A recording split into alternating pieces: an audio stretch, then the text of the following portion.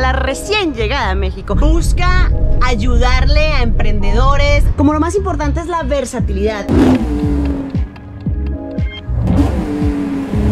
Hola, bienvenidos a un nuevo video. Yo soy Manuela Vázquez y hoy vamos a conocer a nada más y nada menos que a la recién llegada a México, a la completamente nueva Chevrolet Tornado Van 2022. No se diga más, comencemos con el video.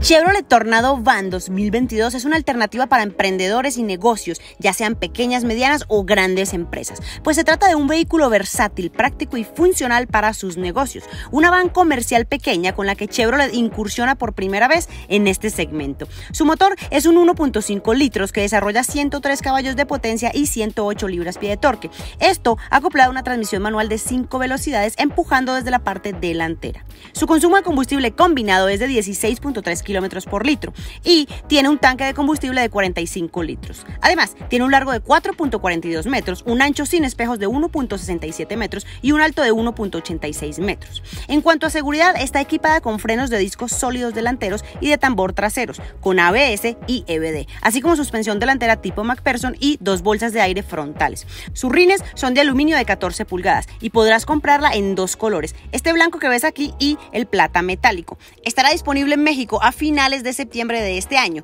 con una sola versión, a un precio de 276.900 pesos mexicanos.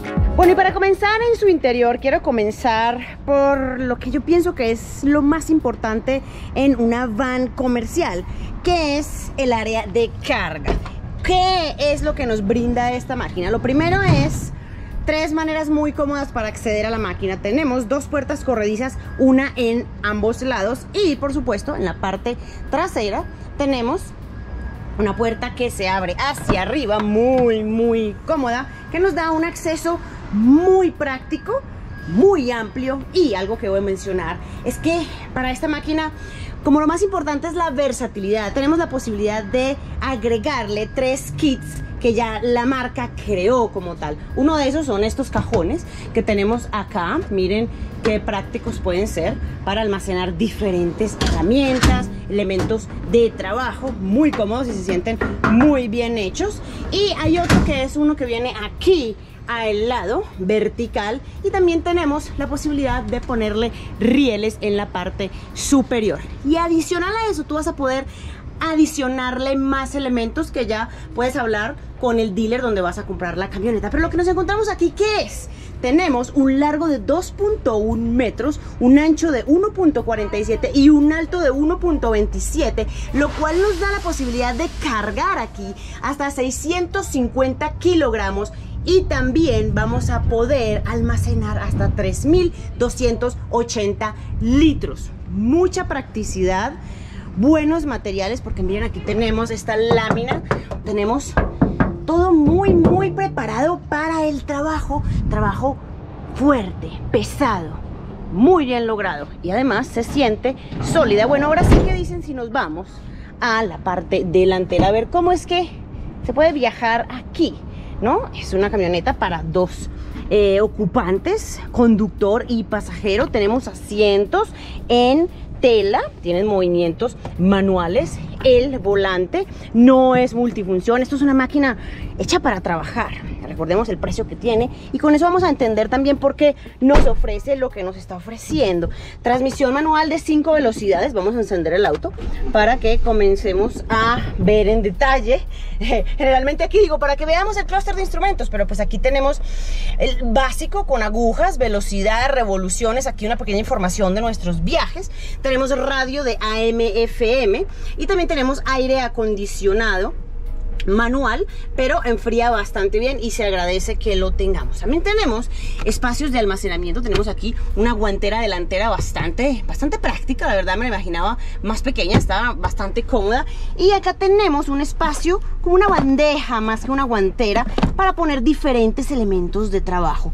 Todos los materiales se sienten eh, rudos, muy, muy rígidos, pero creo que por el tipo de máquina que es y para lo que lo vamos a utilizar, está muy bien. Tenemos además espacios en diferentes partes. Aquí tenemos las cubrebocas que, que hace GM aquí en México.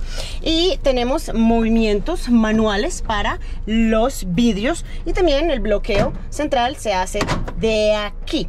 No tenemos espacios para almacenar elementos aquí, eso sí no lo quedaron debiendo. Me hubiera gustado quizás tener aquí para poner eh, folders o quizás una botella o un vaso, eso sí, creo que le sumaría puntos a la camioneta. Sin embargo, aquí tenemos un espacio adicional para guardar elementos. Tenemos aquí también una salida a 12 voltios y espacio para botellas o vasos, como también el freno de mano manual. Tenemos buen espacio aquí. Este sí no lo pusieron grande como para poner elementos. Esto está bien pensado para el trabajo. Y debo mencionarles que la posición de manejo es cómoda. Sin embargo, también me hubiera gustado que tuviéramos movimientos de profundidad y de altura del volante, cosa que no tenemos. Tenemos más espacio aquí para almacenar. Y bueno, ahora sí yo creo que hemos visto todo lo que tenemos en el interior. ¿Qué dicen si nos vamos a manejarla? A ver qué tal lo hace. Venga. Sensaciones de manejo de Chevrolet Tornado Van 2022. Lo primero que debo mencionar es que es muy coherente la sensación de manejo con el ADN del auto. Es un auto que busca ayudarle a emprendedores, a creadores de sueños, de empresas, ayudarles en su, en su, camino, ¿no? Ser un partner, un aliado. Y creo que eso lo vives. Inmediatamente me subí a la máquina. Yo dije, bueno, ¿y qué empresa montaría yo? ¿Para qué utilizaría yo esta máquina?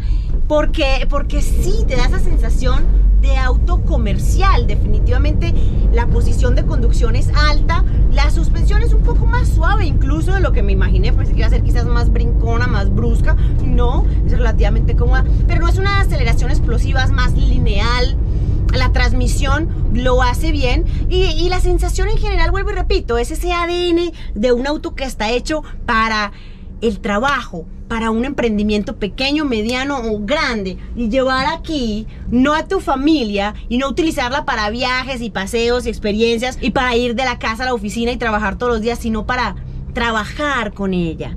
Es una aliada, es una herramienta y lo siento en cada experiencia a la hora de conducirla, no solo en lo que vivimos y lo que nos entrega en su interior, sino a la hora de conducirla. Tiene muy buena visual hacia adelante y hacia los lados, hacia donde sí quizás vas a tener inconvenientes, va a ser hacia atrás, sobre todo cuando tengas la carga full, si vas a necesitar un spotter que te esté pues avisando si hay algún elemento o si hay alguien atrás. Sin embargo, pues es, un, es una van y eso es inherente de las vanes, ¿no? Porque la vas, a, ah, la vas a llenar. Necesitaríamos una cámara reversa, pero bueno, eso le sumaría el precio. Y ahí voy a algo muy importante de la máquina. Su precio y el consumo de combustible. Recordemos que el consumo de combustible es de 16.3 kilómetros por litro combinado. Y su precio es de 276 mil pesos mexicanos. Es un precio muy competitivo, muy versátil. Si eres una persona que definitivamente está pensando en emprender o ya tiene un emprendimiento y está eh, pensando en cambiar su flota de transporte, definitivamente es una buena opción. Y la he manejado un rato y no se queda cortica, ¿eh? Y me gusta que sea manual porque eso te va a permitir dominarla más. Cuando vas en su vida y tienes que exigirle eso, te va a ayudar a exigirle hasta donde tú quieras y que no te deje botado. Y cuando vas bajando, te va a ayudar también a poder apoyarte del motor, la transmisión, para eh, no utilizar tanto los frenos y quizás vas muy cargado. Bueno, ahora sí me despido. Muchísimas gracias por estar aquí. Me gustó muchísimo hacer este video distinto, un auto distinto. Gracias a Chevrolet por permitirme conocer de primera mano a la recién llegada a México. Miren qué buen radio de giro tiene. Eso es algo importante a la hora de un auto de trabajo comercial que tenga buen radio de giro. Muy bueno. Y miren absorbe las imperfecciones del terreno. Es divertida. Ay, no qué peligro. Si llevara leche atrás ya tendría queso yo, yo creo ahí. Espero les haya gustado muchísimo el video. Gracias Chevrolet por permitirme conocer a Chevrolet Tornado Van 2022 de primera mano. Los quiero mucho espero verlos en un próximo video.